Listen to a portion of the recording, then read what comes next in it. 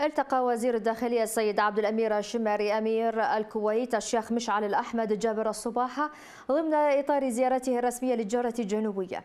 وذكرت وزارة الداخلية في بيان وزيرها عبد الأمير الشماري نقل رسالة خطية من رئيس مجلس الوزراء القائد العام للقوات المسلحة للأمير الصباحة مبينة أنه بحث معه تطوير العلاقات الثنائية بين البلدين الجارين وتقوية أواصر التعاون في مختلف المجالات خاصة الأمنية منها. عنها وأشارت إلى أن الوزير أشاد بعمق العلاقات الأخوية التي تربط العراق والكويت مؤكدا ضرورة تكثيف التعاون والتنسيق المتبادل وكل ما من شأنه أن يحقق المصالح المشتركة للبلدين والشعبين الشقيقين.